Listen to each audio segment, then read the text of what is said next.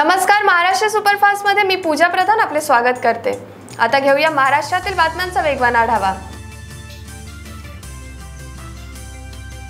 नवरात्रीच्या पहिल्या दिवसापासून म्हणजे सात ऑक्टोबरपासून राज्यातील सर्व धर्मीय प्रार्थना स्थळे खुली करण्याचा निर्णय प्रशासनाने घेतला आहे. कोरोनाच्या पार्श्वभूमीवर आरोग्याच्या नियमांचे काटेकोर पालन करून ही प्रार्थना स्थळे भक्तांसाठी खुली करण्यात येणार आहे. शनिवारी मौदा येथे राष्ट्रवादी काँग्रेस पार्टीच्या वतीने मौदा माथनी महामार्ग टोल क्रमांक त्रेपन्नचा नामकरण सोहळा करून बेश्रम टोल नाका असे नाव ठेवत रस्ता रोको आंदोलन करण्यात आले. आधी सुविधानंतर टोल वसुली अशी घोषणाबाजी करत केंद्र सरकार विरोधात हे आंदोलन करण्यात आले. युपीएससी दोन हजार वीसचा अंतिम निकाल जाहीर झाला असून नागपूरसह विदर्भातील सहा विद्यार्थ्यांना या परीक्षेत यश मिळाले आहे.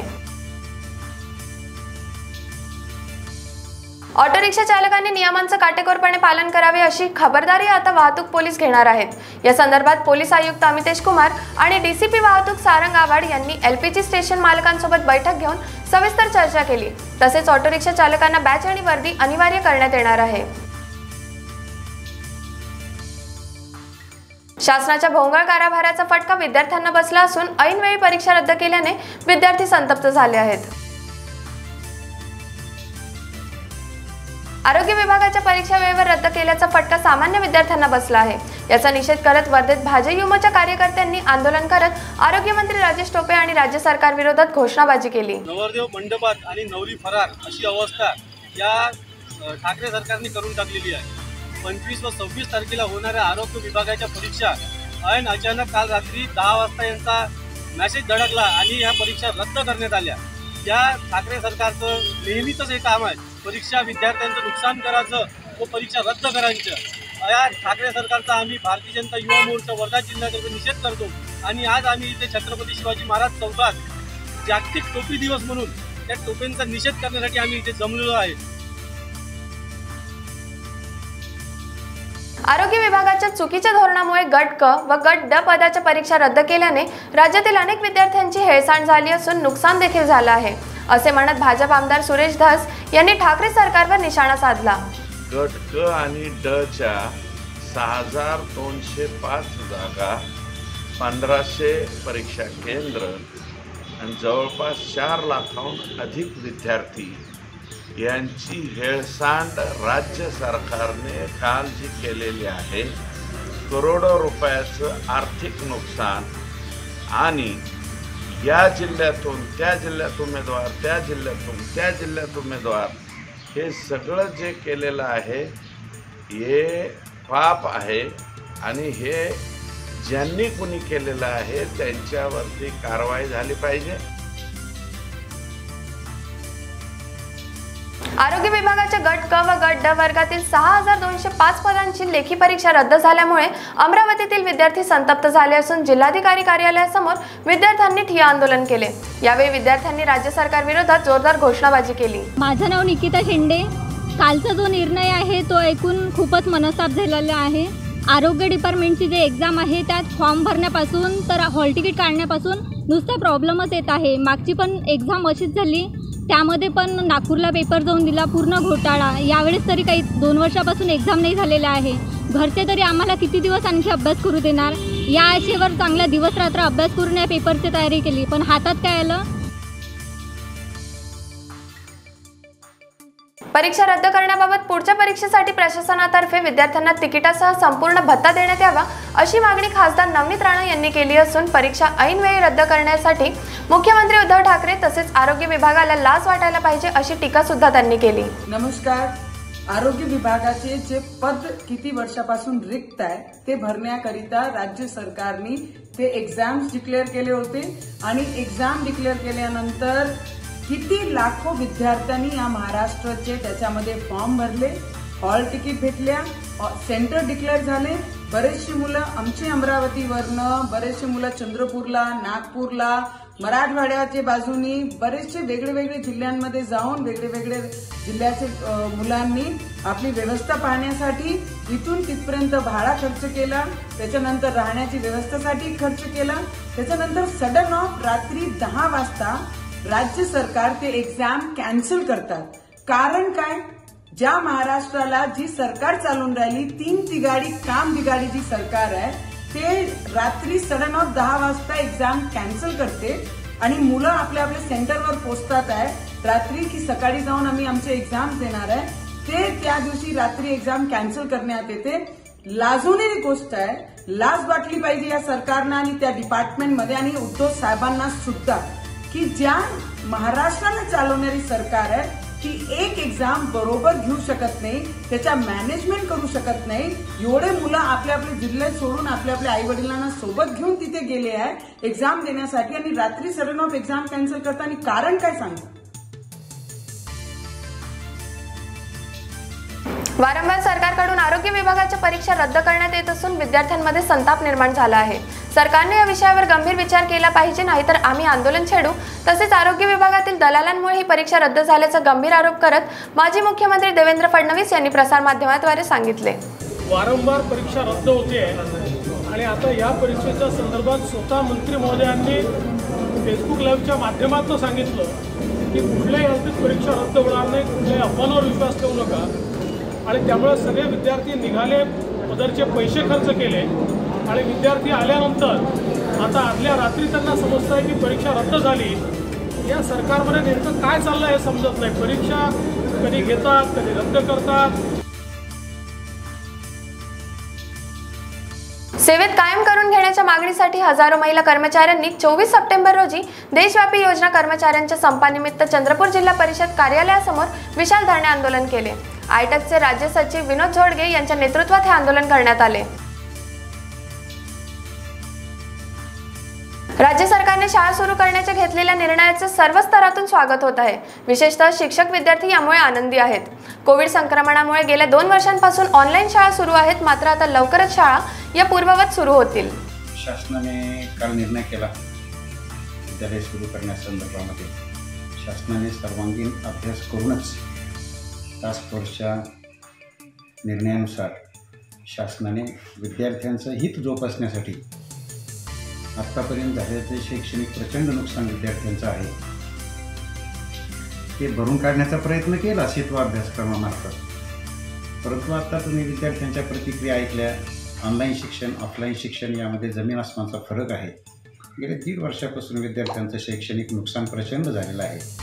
आणि शासनाने सर्वतोपरी विचार घेतल्याशिवाय विचार केल्याशिवाय हा निर्णय घेतलेला नाही.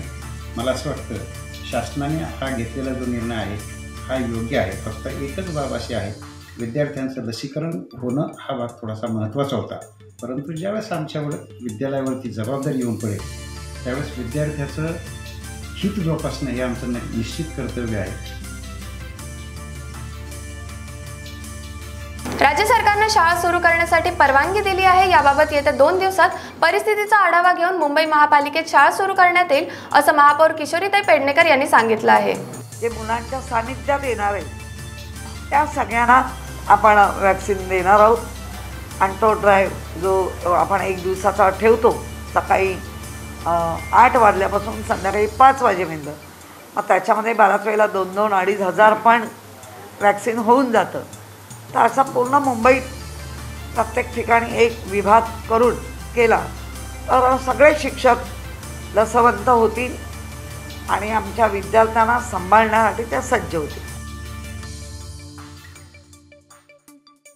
कल्याण डोंबिवली अत्याचार प्रकरणातील आरोपींना भर चौकात फाशी देण्यात यावी या मागणीसाठी मनसे कार्यकर्ते व मनसे महिला सेनेने कल्याण शिवाजी चौकात काळे कपडे घालून व काळे फिती लावून निषेध केला. आज आम्ही महाराष्ट्र नवनिर्माण सेनेतर्फे आज आंदोलन घेतलेला इथे जाहीर निषेध केलेला आहे.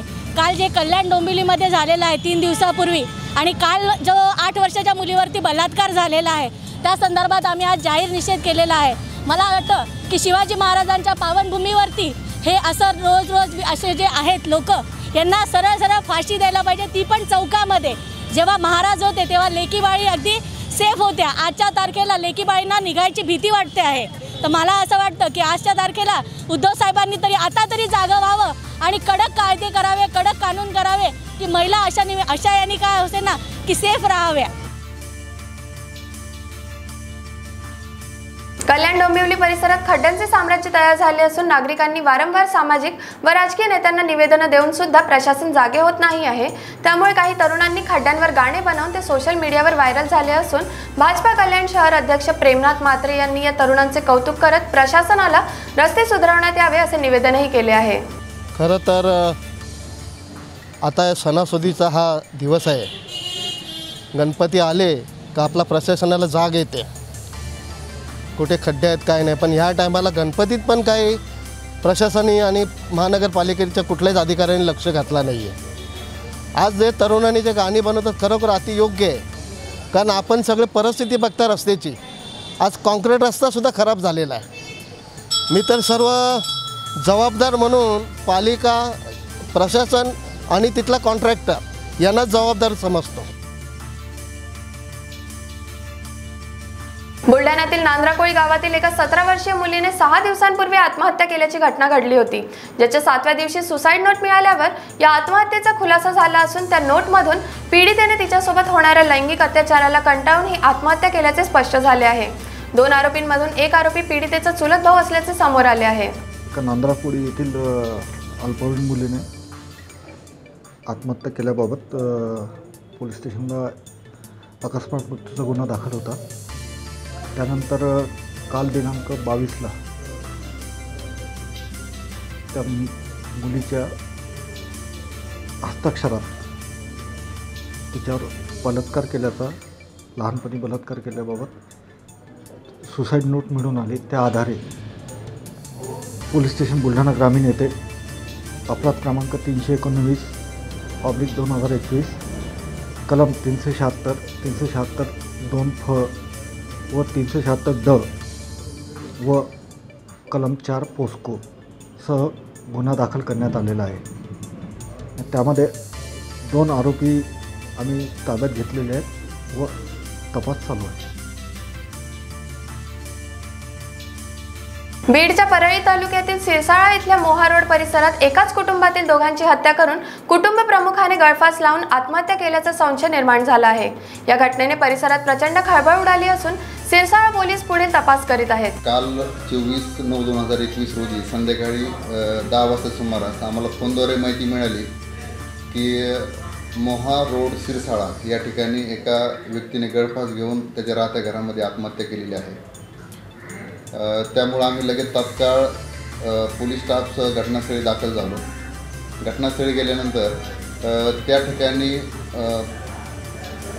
एक व्यक्ती गळफास घेऊन लटकलेल्या अवस्थेत आढळून आला. आणि त्या ठिकाणीच त्याची एक दोन वर्षाची मुलगी आणि पत्नी हे दोघी दोघीही रक्ताच्या थारोळ्यामध्ये दिसून आल्या. त्या दोघींच्याही गाड्यावरती धारदार क्षेत्राने वार केलेले होते. सध्या तीनही प्रेत शवविच्छेदनकरिता सरकारी दवाखाना आंबेजोगाई इथे दाखल करण्यात आलेले आहे अ, माननीय वरिष्ठांच्या मार्गदर्शनाप्रमाणे पुढील तपास सुरू आहे. लखमापूर दिंडोरी येथे बिबट्याच्या हल्ल्यात शेतमजुराचा मुलगा जखमी झाला आहे. जखम जास्त खोल असल्याने मुलाचा एक हात निकामी झाला आहे. शासनातर्फे दिलेली मदत ही अत्यल्प असल्याने अजून मदतीची मागणी शेतमजुराने केली आहे. पवारचा मुलगा होता चार वर्षाचा. तो आमचा शेतमजूर होता. त्याच्या मुलावरती जो बिबट्याने हल्ला केला त्याच्यामध्ये तो मुलगा आता बऱ्यापैकी रिकवर झालेला आहे. विवा वन विभागाने एक सव्वा महिन्यानंतर एक एक लाख पंचवीस हजार रुपयाची रक्कम आर टी जी एस केलेली आहे. परंतु त्या मुलाचा हात आणि पाय अजूनही तसा क्रिटिकल कंडिशनमध्येच आहे कारण तो हात वरती होत नाही. आणि जी मदत झाली ती तशी तोकडी मदत आहे. कारण तो मुलाला कायमचंच अपंगत्व येईल अशी शंका येते कारण त्याचे बोटं वगैरे पण हालत नाही आणि हात वरती होत नाही. तरी वन विभागाने अजून त्याला काही मदत करता येईल का त्याच्यासाठी प्रयत्न केले पाहिजे. आणि कारण तो आदिवासी असल्यामुळे त्याची आर्थिक परिस्थिती भेटाचीच आहे. आजही तो मुलगा अजून अपंग अवस्थेतच आहे. तरी वन विभागाने त्याला मदत करण्याचा प्रयत्न करावा. गट नंबर पंच्याण्णव लखमापूर शिवारात झाला होता. शिवसेनेचे माजी आमदार कैलास पाटील यांनी आता राष्ट्रवादी काँग्रेस पक्षात प्रवेश केला आहे.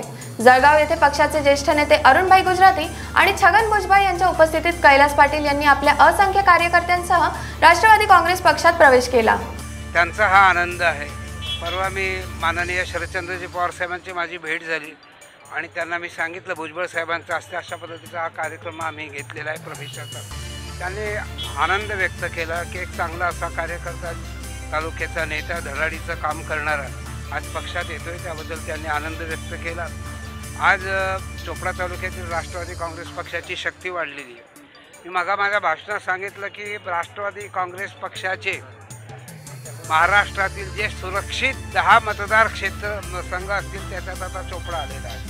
चोपड्याचा आमदार पुढचा आमदार हा राष्ट्रवादीचाच असणार ही काळ्या दगडावरची रेष आहे. अनेक बाबतीत चोपडा तालुका आघाडीवर आहे. मगा बापूंनी सांगितलं आपल्याला. युपीएससीच्या परीक्षेत अंकिता जैन ही देशातून तिसरी आली असून युपीएससी देण्याची ही अंकिताची चौथी वेळ आहे. विशेष म्हणजे अंकिताची बहीण वृषाली जैन ही देखील देशात युपीएससीच्या परीक्षेत एकवीसवी आली आहे. अंकिताला महिला सबलीकरणासाठी विशेष प्रयत्न करायचे आहेत. मैंने इसकी प्रिपरेशन काफ़ी टाइम से करी है. दो हज़ार सत्रह से मैं कर रही हूँ और फोर्थ अटैम्प्ट है मेरा। मुझे काफ़ी खुशी हो रही है कि इतनी मेहनत हम करके आए हैं और इसका फल प्राप्त हुआ है। और साथ में थोड़ा रिस्पॉन्सिबिलिटी भी फील हो रहा है क्योंकि आप बहुत एक हाई पे आ जाते हैं आप, आप इससे नीचे नहीं जाना चाहते हैं। तो मुझे ये हाई मेंटेन करना है तो ये रिस्पॉन्सिबिलिटी भी है मेरे लिए। अ, ये अटैम्प्ट बहुत स्पेशल है क्योंकि अ, मेरी सिस्टर है विशाली जैन। उसकी रैंक ट्वेंटी वन आई है और उसने मुझे इस टाइम पे बहुत पढ़ाया है। हम दोनों ने साथ में बहुत पढ़ाई करी है। और मुझे ऐसा लगता है कि साथ में कोई पढ़ने वाला होता है तो आपको इनकरेजमेंट भी मिलता है। अ, उसने मुझे काफ़ी गाइड करा है मैंने उसे गाइड करा है काफ़ी और हम दोनों ने साथ में काफ़ी पढ़ाई करी है तो बहुत इंपॉर्टेंट बहुत स्पेशल है मेरे लिए। और आप सब भी ऐसे कर सकते हैं आप आपस में डिस्कस करके करिए एक दूसरे की मदद करते हुए करिए तो हो सकता है। तर महाराष्ट्र सुपरफास्ट मध्ये इतकंच. उद्या पुन्हा भेटूया नवीन सुपरफास्ट बातम्यांसह. भगतराव बीकेबी न्यूज़ नमस्कार.